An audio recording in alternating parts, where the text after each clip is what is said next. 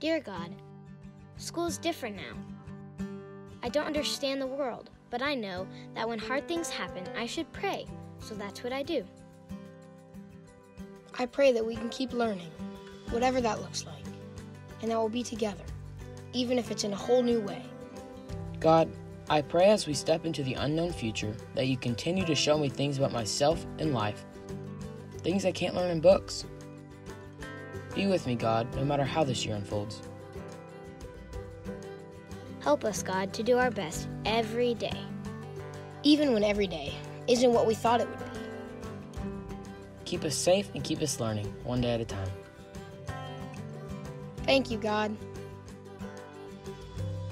Amen. Amen. Amen.